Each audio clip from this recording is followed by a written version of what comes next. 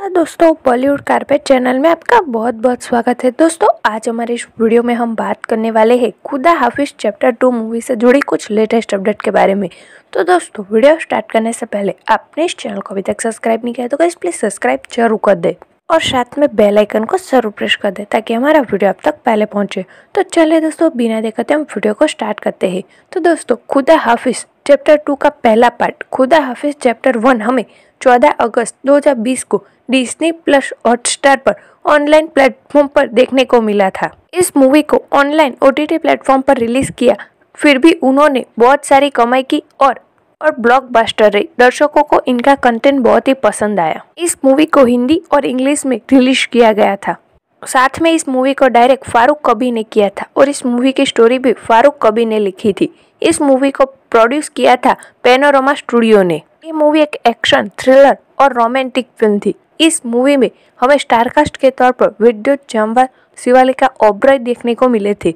साथ में अन्नू कपूर आहना कपूर और शिव पंडित सहायक भूमिका में देखने को मिले थे। ये मूवी एक सत्य घटना पर आधारित थी। इस मूवी में विद्युत जामवाल और शिवालिका ओब्रॉय ने जो ऑन स्क्रीन लव स्टोरी निभाई थी, वो दर्शकों को बहुत ही पसंद आई थी। साथ में इन दोनों की केमिस्ट्री भी बहुत ही पसंद आई थी। ये मूवी ब्लॉकबस्टर रहने के बाद अब डायरेक्टर इनका दूसरा पार्ट बनाने जा रहे हैं, खुदा हाफिज चैप्टर टू मूवी। और इस बार Khuda Haafiz chapter two movie को makers online O T platform पर रिलीज़ नहीं करेंगे, बल्कि सिनेमा घरों में रिलीज़ करना चाहते हैं।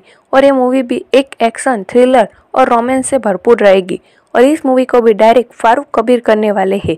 साथ में इस मूवी की स्टोरी भी फारूक कबीर लिखेंगे। और इस मूवी को पेनोरमा स्टूडियो के बैनर तले प्रोड्यूस किया जाएगा। और इस मूवी से हमें फिर से विद्युत जमवाल और शिवालिका ओब्रॉय अपनी ऑन स्क्रीन लव स्टोरी को आगे बढ़ाते हुए नज़र आने वाले हैं। साथ में अन्य नए चेहरे भी इसमें शामिल किया जाएगा। इस मूवी को पहले चैप्टर की तरह ही हिंदी और इंग्लिश में रिलीज़ किया जाएगा। और इस बार इस मूवी को 80 करोड़ के बजट पर बनाया जाएगा और ये मूवी बॉक्स ऑफ़िस पर 200 से 300 करोड़ की कमाई कर सकती है, ऐसा अंदाज़ा लगाया गया है। तो दोस्तों, आप भी एक खुदा हाफिज चैप्टर टू मूवी देखने के लिए कितना इंतज़ार करें हमें कमेंट बॉक्स में लिखकर ज़रूर बताएँ। अगर वीडियो पसंद आए तो लाइक ज़रूर कर दीजिए और इस चैनल को आपने अभी तक सब्सक्राइब नहीं किया तो प्लीज़ सब्सक्राइब ज़रूर कर दें।